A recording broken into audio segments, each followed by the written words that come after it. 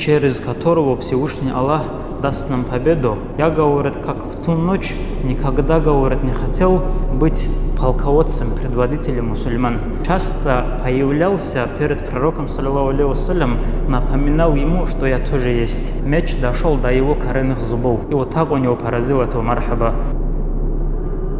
Мусульмане заключили договор с курайшитами, с меканцами в местности Худайбия, который внешне казался невыгодным договором для мусульман, однако это и было началом победы мусульман, началом взятия Мекки. И когда пророк, саллиллаху вернулся в Медину, он, он узнал, что остатки иудеев, которые были пророком, саллиллаху освобождены, они нашли прибежище в городе Хайбар. Это место такое вот, город, где было 8 крепостей, где было сельское хозяйство, где воинов было иудейских 10 тысяч человек. В общем, самая большая мощь того времени, которая была иудеев. И они потихоньку начали этот, э, подстрекать, они начали разжигать смуту, и иудеи из города Хайбар, они решили заключить договор с племенем Гатафан, с арабами, договорившись, что половина из урожая, а, то, что будет расти в Хайбаре, это будет доставаться племени Гатафан. Они договорились, и узнав об этом, пророк, саллиллаху отправляет своего посла, одного сподвижника, Абдуллаха ибн Раваха, радиаллаху анху, чтобы заключить с ними мир, договор с этими иудеями. Они отказались, и тогда пророк, саллиллаху выступил с джихадом на это племя вместе с Хайбар. Когда они прибыли туда, у пророка, саллиллаху был обычай ночью не нападать. Он дожидался утра, настолько он был справедливым даже на войне, чтобы не застать врагов врасплох. Пророк, саллиллаху такую справедливость он соблюдал. Он дождался утра, и когда люди, жители племени Хайбар, они вышли с лопатами, с корзинами э, это, на поля свои, они увидели пророка, وسلم, и они сказали, это Мухаммад и его войска. Они, говорят, пришли напасть на нас. Вернувшись обратно, они рассказали обо всем. Пророк, وسلم, восклик, воскликнул Аллаху Акбар. Вот он понял, что там есть победа. Пророк, саллиллаху сказал, рухнула, говорит, крепость Иудею Хайбар. Вот именно в момент, когда вот казалось, что уже все, уже вроде бы проиграли, вот именно в этот момент пророк, саллиллаху он наоборот радовался, шукру воздавал Всевышнему Аллаху. Почему? Потому что только с помощью, только с поддержкой Аллаха можно достичь успеха и победы, а поддержка Аллаха приходит именно тогда, когда люди, они только на Аллаха полагаются. Насколько они рабство проявляют, настолько и будет помощь. Вот человек, допустим, хочет на утренний намаз пойти, и он уверен, что он на утренний намаз пойдет. У него, может быть, даже не будет поддержки. Вот человек, который не знает, который просит и говорит, «О Аллах, помоги мне на утренний намаз пойти» как ты мне дал религию ислам, как ты дал мне любовь к этой религии, дал мне здоровье, чтобы я пошел на утренний намаз, дал мечеть, вот так же помоги мне пойти на утренний намаз. И вот так вот каждый наш шаг, каждое поклонение, оно должно сопровождаться рабством, то есть обращаясь ко Всевышнему Аллаху, а не надеяться на свою силу воли и так далее. И пророк, саллиллаху дойдя до этого, до этого Э, до этой крепости Хайбар, он обратился к Аллаху, попросил у Аллаха благо э, этого города, благо жителей этого города и всего, что там находится. И попросил у Аллаха защиты от зла этого города, жителей этого города и всего, что там находится. И в первый день пророк, саллиллаху дал знамя, вот мусульман вел за собой, как полководец Абу Бакр, радиаллаху анху. Вернулся он вечером без помощи. На следующий день Умар, ради Аллаху анху, он был полководцем, он тоже вернулся безрезультатно. И, и в, вот, в ту ночь пророк, саллиллаху сказал, завтра утром я вручу знамя мусульман, человеку, через которого Всевышний Аллах даст нам победу, через которого будет завоеван Хайбар, человек, который любит Всевышнего Аллаха и его пророка, саллиллаху человек, которого любит Всевышний Аллах и его пророк, саллиллаху И в эту ночь сподвижники, большие сподвижники, они не спали, они надеялись, они мечтали хоть бы этим человеком утром, кому пророк, саллиллаху вручит знамя ислама, оказался я. Вот Умар, ради Аллаху анху, говорит, я, говорит, как в ту ночь никогда, говорит, не хотел быть полководцем, предводителем мусульман. И я, говорит, вот настолько это сильно хотел, что часто появлялся перед пророком, саллиллаху напоминал ему, что я тоже есть. Однако, когда уже вот утро наступило, пророк, саллиллаху спросил, где Али Асхаб, ради Аллаху анху, ему сказали, у него глаза болят. Пророк, саллиллаху говорит, сказал, чтобы его позвали. Когда его позвали, он, говорит, своей слюной помазал его глаза, попросил у Аллаха, чтобы Аллах излечил его глаза.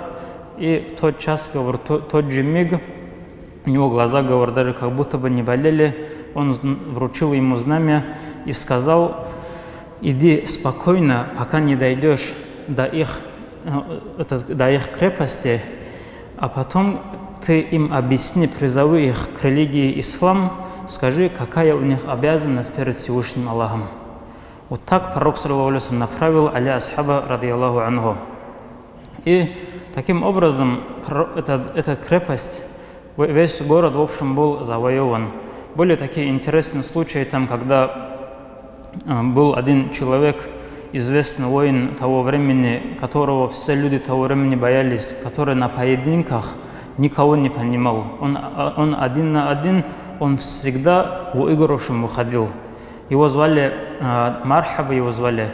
И этот человек, он так оделся в доспехи, с ним был поединок у Али Асхаба, رضي الله عنه. Сначала Али Асхаб, رضي الله عنه, убил его брата, потом, когда уже вот они, когда встретились друг с другом, каждый, говорит, рынулся против, ну, в сторону друг друга, и Али Асхаб, رضي الله عنه, меч опередил, чем меч этого Мархаба. И Али Асхаб, رضي الله عنه, ударом, он говорит, поразил, говорит, его шлем и его голову, что этот меч дошел до его коренных зубов.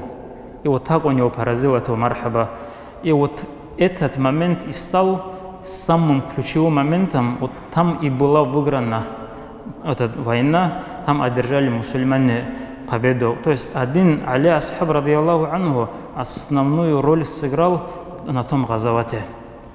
И когда э, уже одолели этих иудеев, э, вернулся Джафар, брат Али Асхаб, ради Аллаху анху, э, из Эфиопии, верну, вместе с ним пришли ашариты, которые были из Йемена, из, которые были племенем Абу Муса аль-Ашари, они приняли ислам, и пророк, саллиллаху настолько он обрадовался, он сказал, как же, говорит, похож твой нрав на мой нрав, говорит, о Джафар, он сказал, аля асхабы брату Джафар, ради Аллаху анху.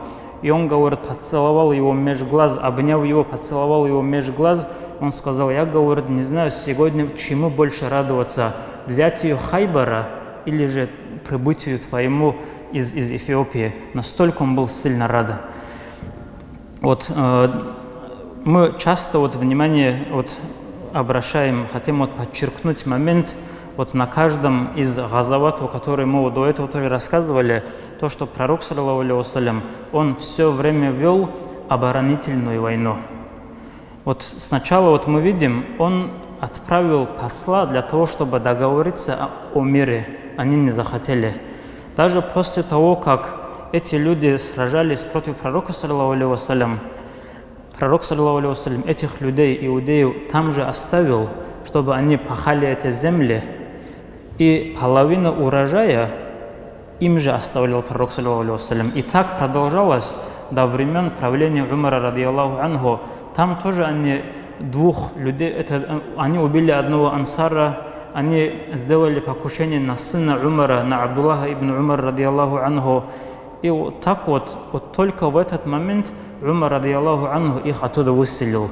Вот в этом э, Газавате был такой случай, когда женщина одна, Зайнаб бинту Харитат, иудейка, бывшая иудейка, она э, исследовала, она спросила, изучила, какая часть ягненка, баранины нравится пророку, саллиллаху Ей сказали, что ему нравится лопатка.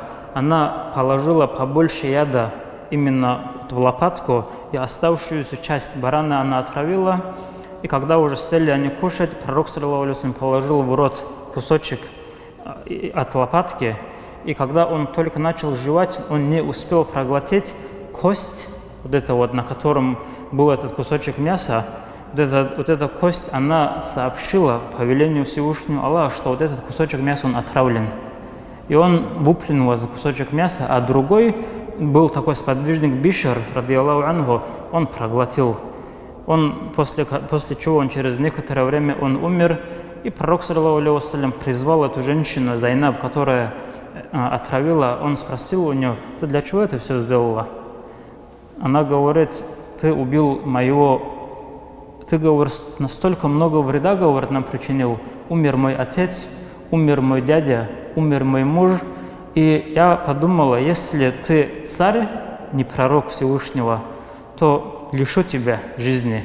А если ты пророк, то ты об этом обязательно узнаешь. И на самом деле оказалось, что ты посланник Аллаха, и она приняла ислам. Ее тоже пророк, саллиллаху так оставил, живых ее оставил. Вот, вот мы видим, вот насколько был пророк, саллиллаху милосердным, им оставил их же земли, чтобы они там отпахивали, им оставлял половину урожая. И вот так вот пророк, саллиллаху он, он освободился э, от таких вот коварных, таких врагов. Э, для чего это все делалось? Вот вопрос. Для чего пророк, саллиллаху воевал? Только для того, чтобы мы сегодня в будущем будущем, чтобы мусульмане, чтобы люди, это все человечество, оно э, стало уважать своих матерей. Они не стали хоронить своих дочерей. Они соблюдали братство и другие-другие моменты. Все эти нормы ислама, все то благонравие, которое приводится в Коране и в Сунне, чтобы это все, оно распространилось среди всего человечества, чтобы оно стало нормой для людей, только для этого. Из двух зол меньше выбирая, пророк, саллиллаху был, пожертвовать, был готов пожертвовать некоторыми сподвижниками и некоторыми врагами только для того, чтобы в дальнейшем будущем, чтобы закон вот, благонравия, он, он был главным для людей. И вот на сегодняшний день то, что мы вот мусульмане соблюдаем да, определенную этику, то, что какие-то хорошие моменты у нас остались, и не только у мусульман, то, что во всем мире люди понимают, что такое гостеприимство. Мы же не знаем там мест в мире, где там люди своих дочерей заживо хоронят, где к матери уважения не проявляют. Даже люди не мусульмане, они это все от, от кого взяли? они взяли от пророка, саллиллаху потому что очень долгое время ислам, он был на вершине. Был османский халифат, поэтому закон, он был таким самым главным, можно сказать, во всем мире. Дай Аллах нам, чтобы мы вот были людьми, которые будут являться проводниками до следующих поколений, чтобы мы не стали людьми, которые позорят этот закон, а наоборот, которые возвышают. Альхамдулиллахи Раббил Алямин.